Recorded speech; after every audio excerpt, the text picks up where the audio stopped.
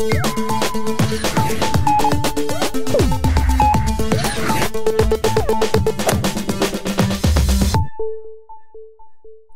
I'm Kenny Gioia. Welcome to another one of my tutorials. In this video, I'm going to show you inverse volume grouping in Reaper. I have a project in front of me here with two tracks. I have a piano and a pad. But they're both playing the same part. I just want to balance the two different sounds against each other. Here's the piano. And here's the pad. Now obviously, I could just use the faders and move them separately.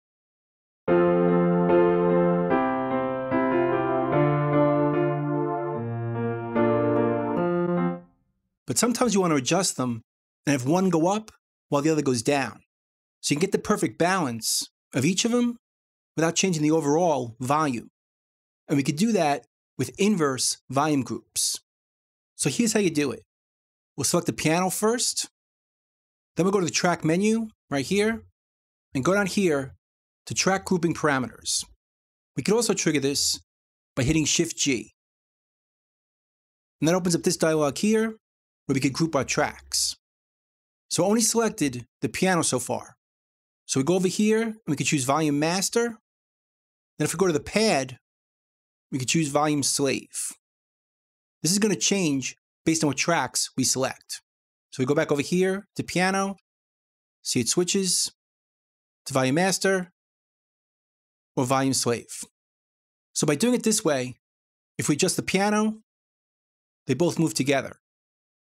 But if I adjust the pad, just that one moves. But in this situation, we want them to move the opposite direction. So I'm going to go to the slave on our pad and go down over here to reverse volume. And what's going to happen now, if I bring this up, this one goes down. If I bring it down, this one goes up. But because this is not a master, it's going to move independently. So we can still adjust them this way, but if we want to move in the opposite direction, just grab the master one, or the piano. So now I could balance this while bringing the piano up while the pad goes down, or bring the piano down while the pad goes up. So you can get a perfect balance while the volume should stay consistent.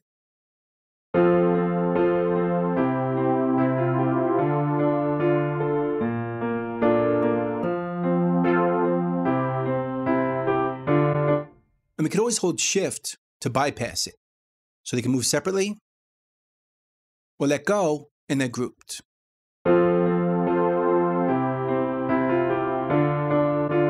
So if I want less piano, bring it down. One more piano, less pad, bring it up. And this will work in so many different applications. Let me show you another one. This time I have two guitar tracks that are played as one performance using two different mics. Mic number one and mic number two. And I want to blend them to create one track. Again, we could do them separately, like this.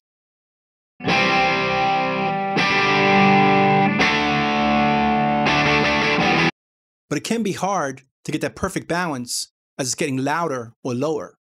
So if we want the volume to stay consistent, we could use inverse volume groups. Again, we'll select the first track, Shift G. We'll choose volume master, select the second track, and choose volume slave and reverse volume. So now once again, if I bring this up, this one goes down, or if I bring this one down, this one goes up. So I can balance the two different mics while the guitar overall is the same volume.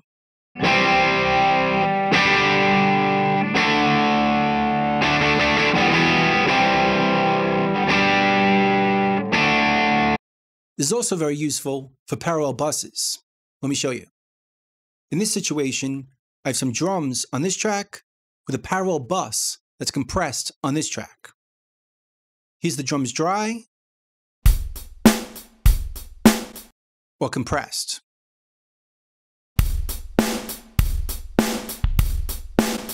But again, I want to mix them together and doing it like this, change the overall volume as I bring it up.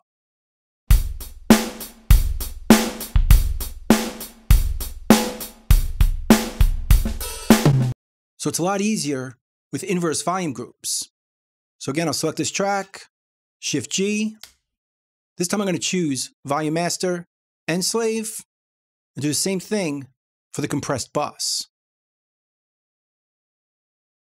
Now they're both going to be grouped no matter which fader I grab, but I can inverse it on the second one right here.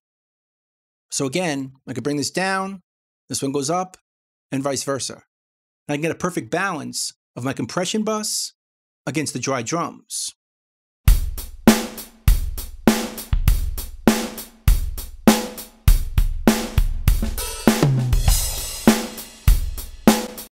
And again, I can hold down shift to bypass it. So I can adjust them separately with shift or let go, and they're inverse grouped.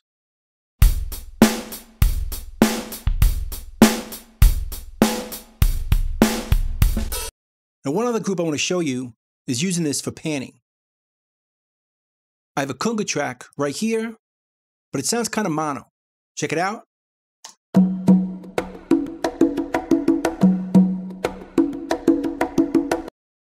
The reverb sounds stereo, but the direct sound is coming from the middle.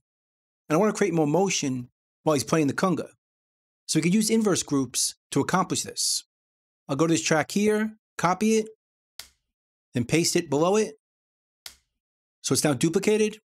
We'll pan the first one to the left and the second one to the right. Now we can inverse group them to create a panning effect. I'll select the first one, Shift G. Let's make this just the master. And this one, the slave.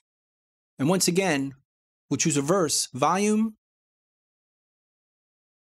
Let's bring this one down while holding down Shift and watch what happens.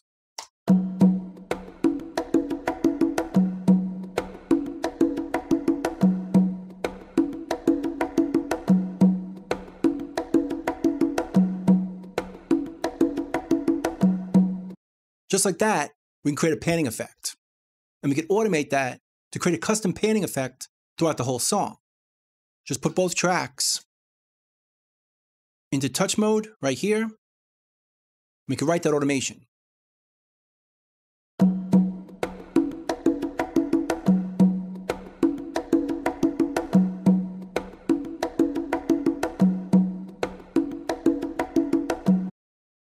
Pretty cool effect.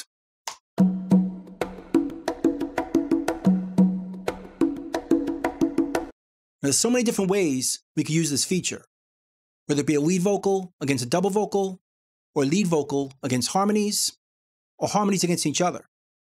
Pretty much anything you could think of where you want one track volume going up the other going down, we could use this feature. And it shows up right down here, reverse volume for any of our groups. So that's pretty much it.